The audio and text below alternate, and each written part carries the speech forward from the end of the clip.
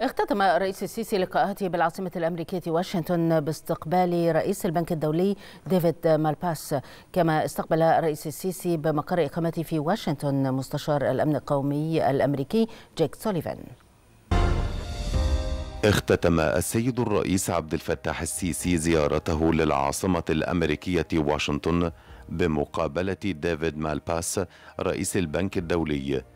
المتحدث الرسمي باسم رئاسة الجمهورية السفير بسام راضي صرح بأن اللقاء تناول تعزيز التعاون بين مصر والبنك الدولي في إطار دعم الجهود التنموية للدولة وكذلك الأهمية التي توليها مصر لتطوير علاقاتها مع مجموعة البنك الدولي بوجه عام. باعتباره أحد أهم شركاء مصر في التنمية واتساع التعاون بين الجانبين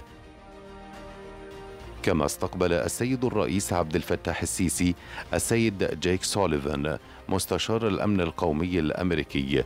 اللقاء شهد التوافق والتأكيد على عمق العلاقات الاستراتيجية بين مصر والولايات المتحدة مع التأكيد على أهمية تكثيف التعاون والتنسيق بين البلدين الصديقين تجاه مختلف الموضوعات والملفات الدولية.